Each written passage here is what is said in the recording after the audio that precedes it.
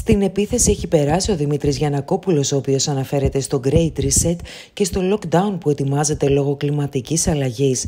Η Vianex είχε ανακοινώσει προ λίγων ημερών πως θα διαθέσει 100.000 ευρώ για την αναδάσωση της Βαριμπόμπης και ο πρόεδρός της έχει εξαπολύσει επίθεση στους εκπροσώπους της νέας τάξης πραγμάτων.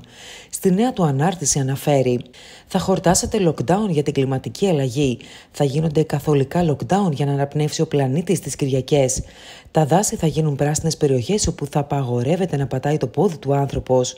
Περιορισμός της μετακινήσεις, φόροι για το διοξίδιο του άνθρακα που αφήνεις και πόσα άλλα και εσύ σαν καλό τούβλο θα λες η κλιματική αλλαγή ευθύνεται για τις φωτιές και τις πλημμύρες που θα έρθουν στη συνέχεια. Οι εμπριστές που εξυπηρετούν το Great Reset λέγονται κλιματική αλλαγή.